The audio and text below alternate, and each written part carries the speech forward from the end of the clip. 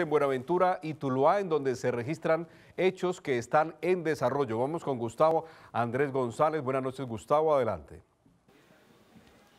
Buenas noches y mucha atención que fue capturado en las últimas horas el presunto homicida del líder social de Buenaventura, Temístocles Machado, en un hecho ocurrido el pasado 27 de enero en este puerto sobre el Pacífico colombiano. El capturado responde al nombre de Fabio Segura Garcete, 28 años, conocido con el alias de Don Big, y fue capturado por el delito de tráfico de estupefacientes. En su poder fueron encontradas municiones, armamento y también 500 gramos de cloro de cocaína, sin embargo en las próximas horas o en los próximos días mejor se espera que sea judicializado por el delito del homicidio de este líder social del puerto sobre el Pacífico colombiano que tanta conmoción causó a principios de este año. Las autoridades pues adelantan todas las investigaciones correspondientes para esclarecer la participación de este hombre. En otras noticias ya del centro del Valle del Cauca fueron asesinados en el centro de esta población de Tuluá dos personas, Edwin Andrés Andrade Mendoza y Célimo Antonio Alzate, quienes se trasladaban en un vehículo de marca Alegro